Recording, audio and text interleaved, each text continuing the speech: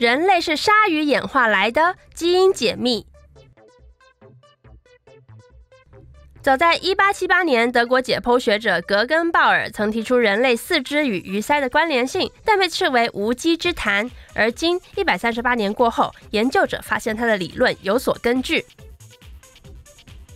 剑桥大学科学家发现，人类四肢与鲨鱼、鳐鱼、红鱼的鳃可能有演化上的关联。这些软骨鱼缸的鱼类拥有如同人类手指般呈放射状散开的鳃条。人体内有种称作因位因子的基因，这种基因决定手指的生长方向，也使之完整成长。因位因子的命名由来，是因为研究者的女儿是卡通蓝色音速小子的粉丝。该基因亦透过同样的成长机制，决定鳐鱼胚胎中的鳃条如何成型。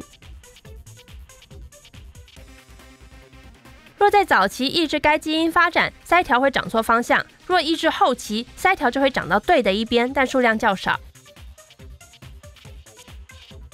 这项研究是否意味着人类是从鱼类演化而来的呢？虽然两者有类似生长机制，但目前仍无化石证据支持这项理论。也许再过一百多年，格根鲍尔的理论才能真正被认可吧。